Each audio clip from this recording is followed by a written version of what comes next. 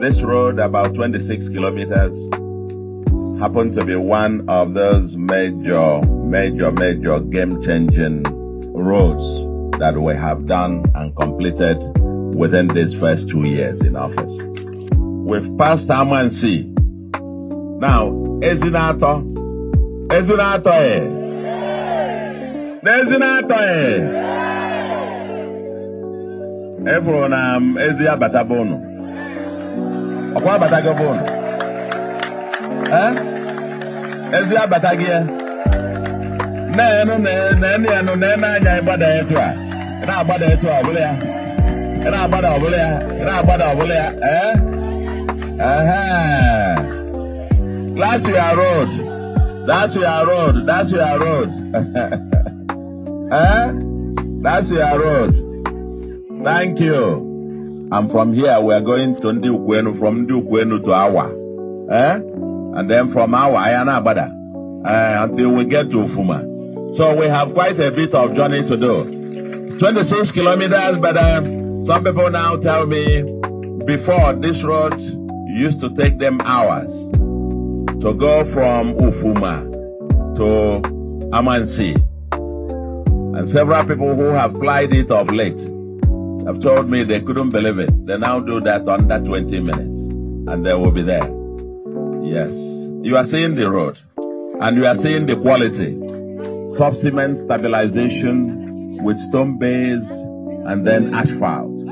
And I'm glad that the quality that has been delivered. I'm going to write the entire thing today.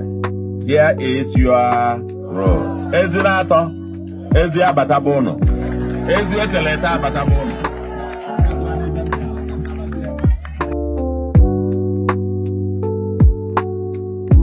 Ufuma kweno, Ufuma mwono, Orumba North Kachano. Project, I want a project Anambra to develop Anambra. When I visited Orumba North during the campaign at Awa, before the main campaign, you were there. You were there.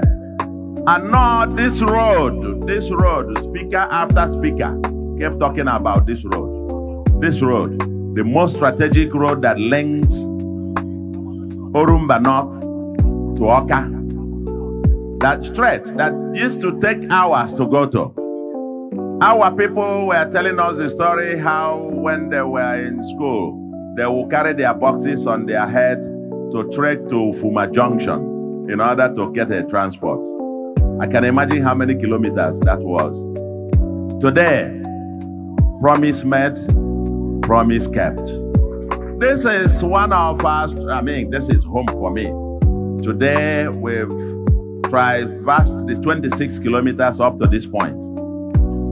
Among the neglected communities along this route, communities that haven't seen third road, haven't seen third road before, food baskets of the of the state.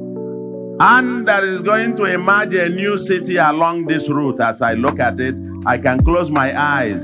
In the next 20, 30, 40 years, we will say the biggest green city that is for the 22nd century along this route. Ndị uvume unu alaikili ụzọ a unu alaikili ya This is, this is so nice, you know, because I applied through this road several years ago. I applied through it two years ago, and I know the state. And today, coming down here smoothly, as if you are driving in some wonderland. You know, coming down, I will know uvume bai. Okwa uvume mbai diva. Ku uvume diva Anambra will continue to rise. Anambra is rising and will never fall again. To God be the glory. Uvume mono.